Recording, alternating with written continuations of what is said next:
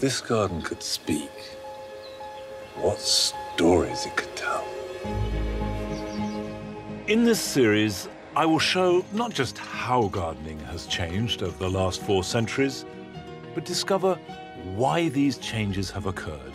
I shall be working with tools of the period to discover just how gardens of the 1600s were maintained.